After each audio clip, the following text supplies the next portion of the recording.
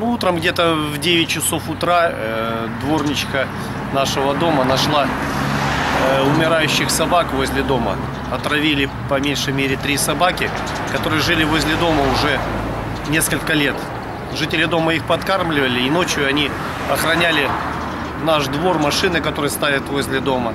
Ну, иногда гавкали, кому-то нравилось, кому-то не нравилось. Но вообще собаки были безобидные, очень хорошие. Сегодня утром отравили собак. Собаки мучились в агонии, пена изо рта, разные испражнения кровяные. Очень сильно мучились собаки. Сожалеем о случившемся.